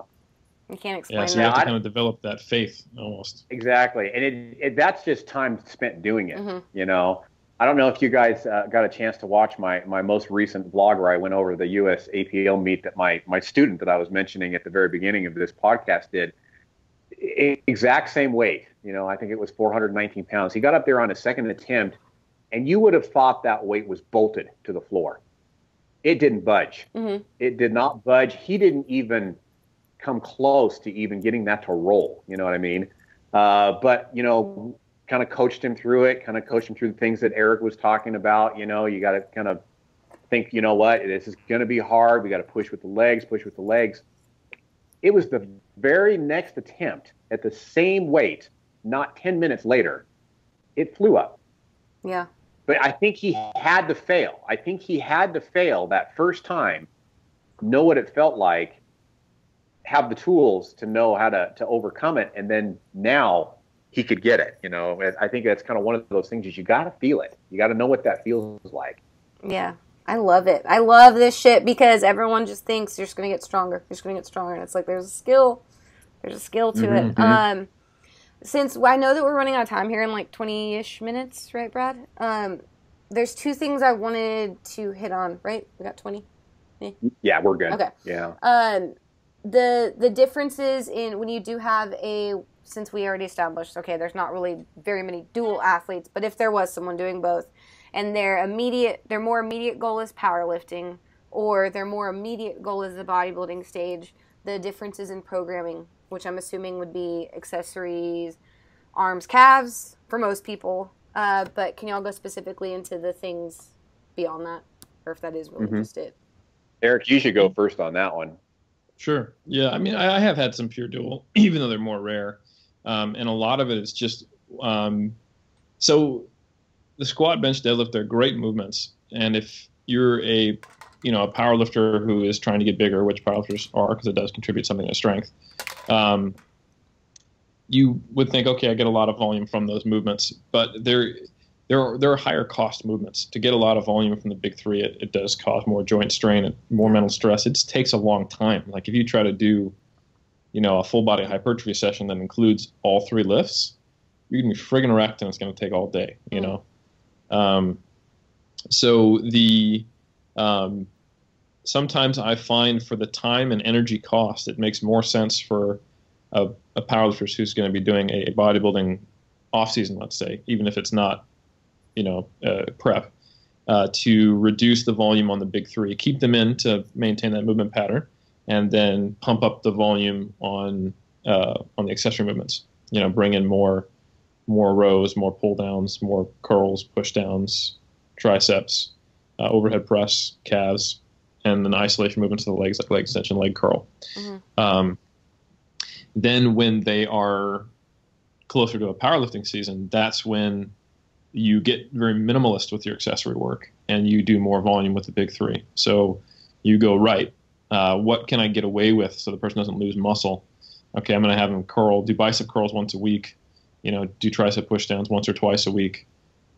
Row maybe once a week and do pull downs twice and do calf raises and maybe get a hamstring curl in there, but nothing else and mm-hmm. and a, a lower number of sets. And then it gives them more time to fit into their schedule doing you know when you might have to do like six by four on on on squats or something like that to get the requisite uh, training volume in so it, it is uh becomes logistical almost and then just going right we're gonna since we're the deadlift may not be the most efficient way to train my hamstrings but um, because i'm doing so much of it i'm gonna have to you know we're, we're gonna, drop down other other hamstring related accessory work mm-hmm. same with you brad yeah, yeah. It, it, if if I understood Eric correctly on a lot of that, um, kind of the same thing. You know, you just you, you have to kind of think to yourself, well, maybe maybe right now the deadlift is not the best exercise to have um, because we're fragile. You know, but we're going to need to figure out something to, to to make up for that. You know, whether it's uh, hamstring curls, weighted, you know, um, hyperextensions, you know, et cetera, et cetera, et cetera. Um, but yeah, that's the big thing is where's where's your emphasis? You know, we're going to have to kind of shift more towards lighter weight, uh, more volume stuff uh, as you go more towards your your bodybuilding side of the pendulum, and then of course, just like Eric said, when you go toward your powerlifting, we're going to be squat, benching, and dead. We don't need to be doing you know umpteen sets of of curls and shrugs and things like that. We better start moving things over toward this side of the pendulum. How um I guess how effective have you seen that? Like when you say, okay, someone just finished their last powerlifting meet and we want to get on a stage in, say, eight months. Now we're going to put all this fluff work back in. Do you really see measurable size differences? Or have you guys really seen like big, big changes in like a, in a trained individual with just that much amount of time? Mm-hmm. I know Eric has. Yeah. Eric, talk about your your three times a week with your curls. And you started your calf raises too.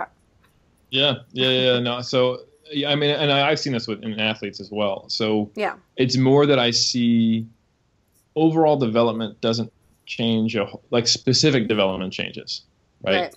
So uh, I find that if I bench a lot, my arms stay big, my chest stays big, my delts stay big, like, and and they'll even grow but a lot of my arm size is due to my triceps. And I, I, I if I keep a lot of rowing and, pull, and doing pull downs in, they stay there as well. But I do notice, and maybe it's just the edema, that when I start curling more often, my arms are even a little bit more bigger. Um, my calves completely disappeared from from not having trained them regularly. Um, they were hanging around when I was doing Olympic lifting because there's always that triple extension. Um, but for, but that's not in powerlifting. So um, some things that I've noticed from doing accessory work, um, my quads have improved, um, and I, I, see this in especially um, very kind of like low bar posterior chain dominant squatters. Is that if they're just doing a bunch of low bar squats, if you throw front squats back in and leg extensions, um, you'll see a, a, noticeable difference in, in, in quad development. Um, less so in more upright, like natural squatters tend to get very good overall leg development from squats. You know good example, like Mike Zourdos has fantastic quads, and he just does low bar squats, but he's built to squat kind of thing. Um, so uh, yeah, and then um, back work. I think deadlifts are great, but there's just not a whole lot of like scapular retraction and, and shoulder extension from the deadlift. So I, I, I think they, uh, and there's a few people who've written about this before that you need to do both back building and deadlifting. You know, um, so I think what I what I have seen in athletes and what makes sense logically and what I've seen in myself is improvements in uh, back development, uh, bicep development, calf development, and sometimes quad development, depending on how they squat.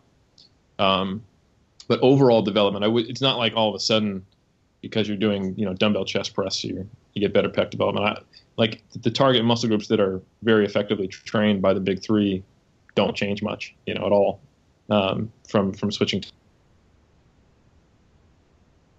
big three train most everything. Yeah. Um, and if you're really well built for powerlifting, and you're kind of like a little short-limbed manlet who stays very upright in a squat no matter how low the bar goes, um, you may have a very good physique just from the big three, which which you'll see in in uh, in, in, the right built people. Um, And and then you know you can tailor it a little bit differently. Word. I think um I asked that because I have a lot of uh people who did their funsies bodybuilding training in the gym and they're like, okay, I want to start doing this power. I want to get stronger in the big three. You take away some of their accessory work and you know they're not curling three days a week now and they think it's all going to go um, and like you said it's not like you're completely rebuilding a bicep from nothing when you introduce it into your program it's just waking back up like i said the edema the fullness the you know and i think um, people it's it's funny how how long it takes to build how quick they think it'll go Mhm. Yeah. Um, and it is, it is a big fear factor there. It's it's it's Yeah. it's, it's uh, they they normally if you if you logic with them a little bit they they Mhm. come around, and then it's just a matter of they won't really fully buy in to, to, to that coaching advice even if you logic with them until they see it. You know. Yeah. Um, and I typically have a fair bit of like pull downs and like vertical rowing that I and chest supported rowing that I do with my my powerlifters. So when a bodybuilder goes from doing that plus curls to no curls, they expect to lose arm size, and they often don't. Yeah. And uh, sometimes there's no no impact at all, and we realize just how superfluous the curls were because you do actually bend your elbow and you do a row and a pull down, believe it or not, yeah you know, kind I've- of thing. I've- so um, yeah yeah, a lot of times they have to go through the process to realize they're not going to lose all their gains. I've been lucky to have that um, as of late with my lower body development. I've never had a weak lower body by any means, but I currently have not done any leg accessory work in eight months or something, and my glutes, hams, quads have gone up like crazy. But I increased my squat frequency. Shit, I've squat in some way. I think for at least four days a week. Yeah, so you do the Olympic variations, squats, Deadlifts, deadlifts. and then all the shit like wall balls and running. I run now. Mm. Uh, I bike. And you do plyometric type stuff too, Mhm. as well, right? Yep, and jumps, weighted Yeah, vest yeah. stuff. So it's like I I I squat Single leg squats as well, right? every day. Yeah, pistol squats. Yeah. So I mean, So the I- the, volume it, at I'd be hard pressed to see how you couldn't have good leg development from all that. well, that's you what? I'm saying though, and like it's it's been a lot a lot easier of a sell is what I'm saying. When I have someone Mhm. that's like I'm not curling, I'm like well, I haven't leg curled in forever, and like look at my legs six months ago, like Yeah. just meh. For Uh, sure. last thing well it's not maybe not the last unless you had something else but i wanted to touch on um, core development and the the you have a really good video on it and i wrote a blog post about the video eric um, saying like Mm. just about core strength and how it has a function for everybody and then beyond that if you do want to step on stage the ways that um, you know bodybuilders are scared of not having abs in their program but that's not something that we all immediately put in their program all the time and they freak out and they're like shouldn't i have abs in this? Um you mind Yeah, elaborating on that? Your ears freak out about that too Oh yeah, Oh, yeah? yeah, Yeah. for sure, yeah. And, and you know that's one thing that that you know people always talk about buzzwords and and core has been a buzzword that's been in this business now for shoot what a decade, you know, Yeah. and it's so it, it's so misused. You Mhm. know, It- it- you, you think about just the the the word core. You know, it's kind of like how can my abs be my core? You know, that's like saying the apple peel is the core of the apple. You know. Yeah. So it's it's such a misused word, and it's almost become kind of a, a pet peeve of mine. Let's do some core work, and we'll go do 150 leg raises. You know.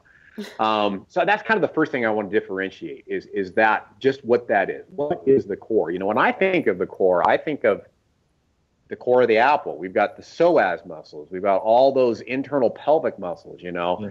that's the core of of what is supporting our big main movements, our squat, our deadlift. You know, all, all of that kind of stuff. Um, so I just want to make sure that I differentiate between those things because your squat is working and building your core. You know, is it necessarily you know building your abs? Well, I think that's a very very subjective thing, and we could argue, uh, you know, until the, the cows come home when it comes to that. But I mean, let's just face it. You know, this is kind of the way that I look at abs. They're kind of a silly muscle. You know what I mean? they, they really silly muscle. They do. They don't do much except promote bad posture. You know, you think hmm. about the bicep, it contracts, it brings your, you know, it foreshortens, it brings your arm up. You think about the abs, they contract, brings your your your, your ribs and your pubic bone together. Ugh, bad posture, you know. So really, in my mind, hmm. functionally, they don't do much except kind of hold our guts in, you know.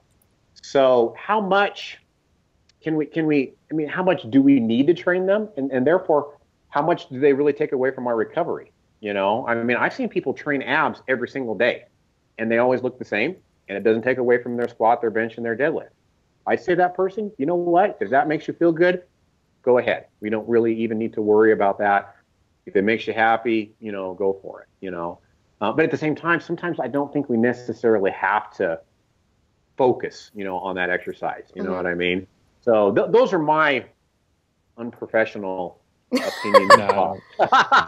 no, they matter, and it's it's um. I think too. It's like when they they say I don't have any core work. It's like every squat is core work. Every you know every deadlift and and core is. It's not necessarily the powerlifters that ask me. It's the the bodybuilders who we come in. This is our first resistance training program to get. It's probably their first um, semi sound program that they're actually mm. adhering to. And um, they come from doing 30 minutes of abs three days a week into now we're actually training in this manner with calculated volume and this and that, and they're worried they're going to lose their abs. Um, most of them don't have abs to start with. And when we even say abs, obviously, I think we should clarify we all know that everybody has abdominal muscles. But um, most of the time, again, when it's someone who's the first time coming at me, I want to be a physique athlete. It's like, well, you're just not lean enough. Like they're there. Um.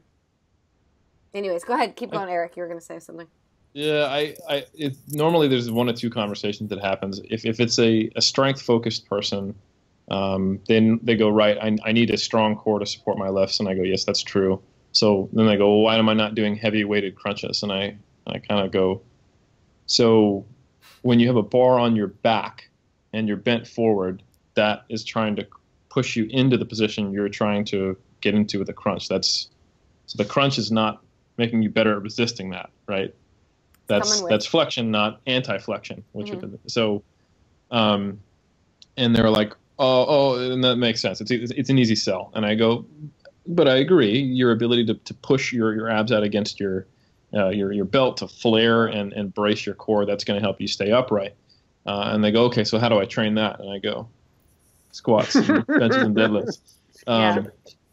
Right, but um, but that that said, it doesn't mean if that is something that they really really struggle with, you can do a heavy weighted back extension. That makes a little more sense to me. You you can do um, like Pallof press variations. You can do things that are directly targeting anti-flexion, anti-rotation, anti-extension, anti all that stuff, right?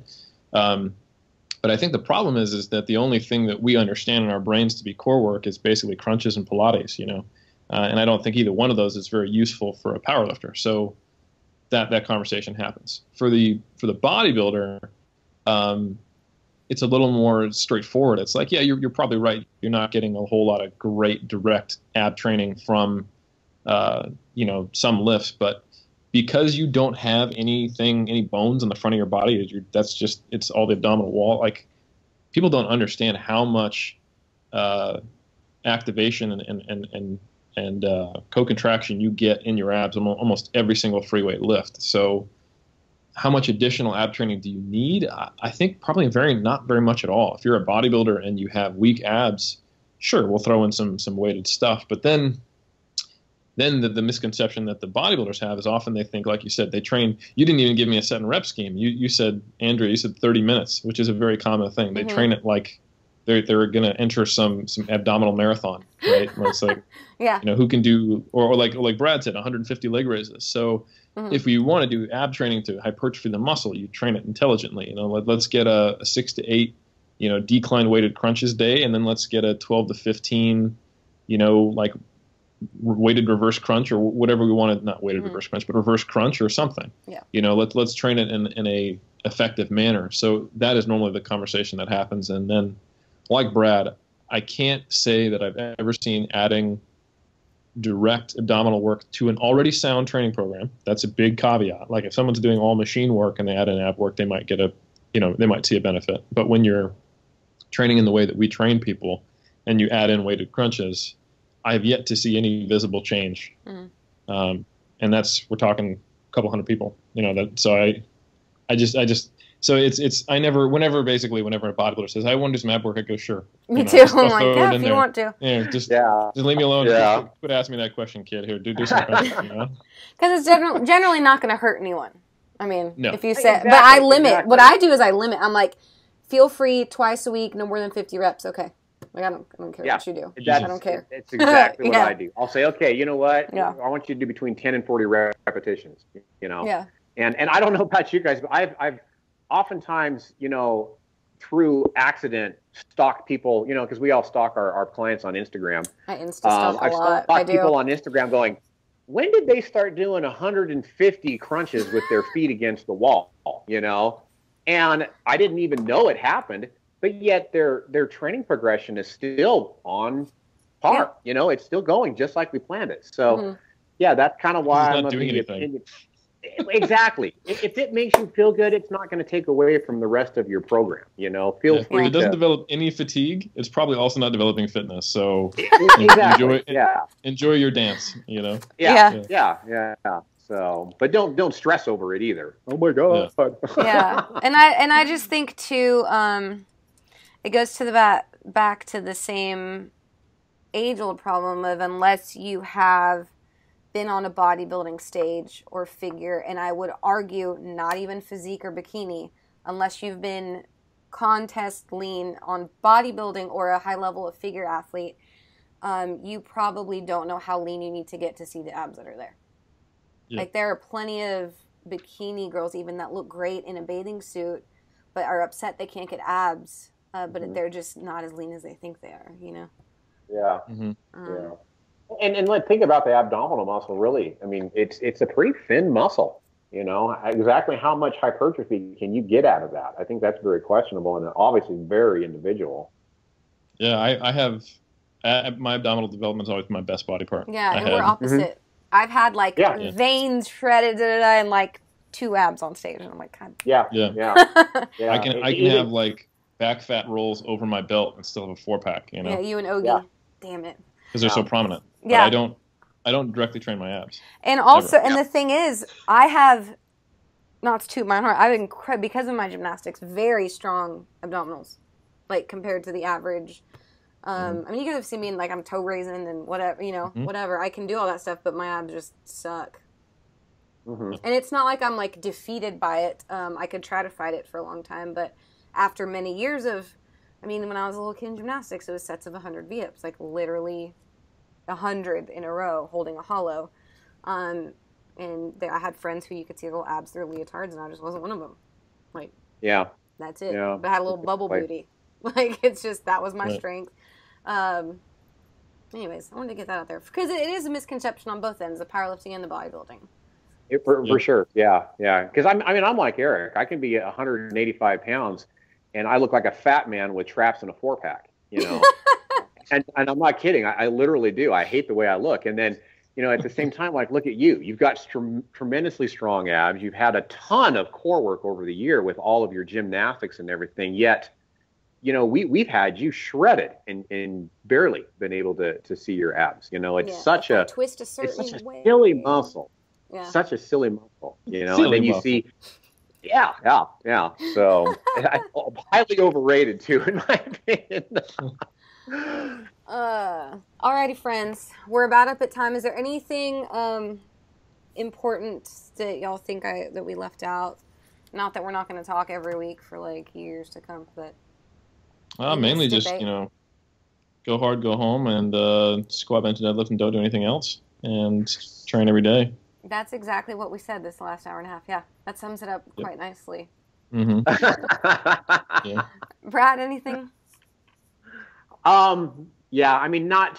I think the big thing that I would just like to get out there is that, um, you know, and not to not to to disagree with Eric because I think there is a certain amount of sarcasm, but you know, you don't necessarily have to train yourself into the floor to get the response that you're after.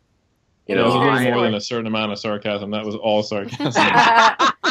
yeah, but You're- in a in You're either so way. darn good at it too, brother. You know that. Yeah. Thank you. But yeah, I mean, I have gotten more strength gains, and really, to be honest with you, I think more physique development, training smarter and not harder over the last two years.